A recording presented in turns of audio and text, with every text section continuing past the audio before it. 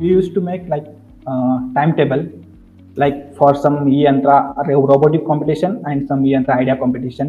Some are used to work on robotic competition while we are working on idea. Whenever in uh, college the if may exam come then uh, we, we used to more focus on exams.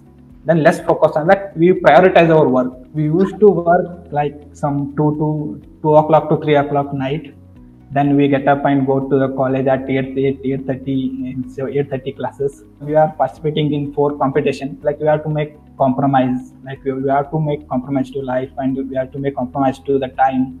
Like from these competition i am like learning practical things. Some people told me like uh, concentrate only one uh, instead of doing multitasking. I thought okay instead of giving you know 100% i'll give 200% i'll spend double the amount i can handle both e-yantra and EYIC for e-yantra we to like we need to spend like four to five hours uh, for everything.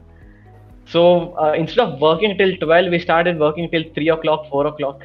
So uh, like our watchman used to scold but our mentor was there. Like he used to give us permissions to stay in the college.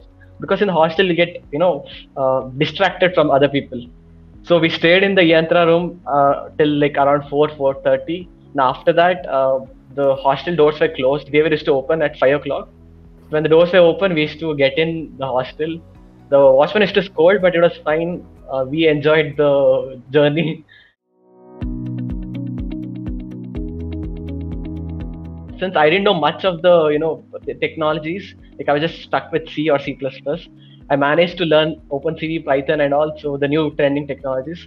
So because of that, uh, it actually helped us to do EYRC, EYIC, and all.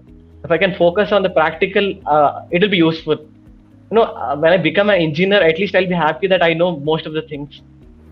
Uh, a sense of satisfaction will be there in me uh, rather than the theoretical approach.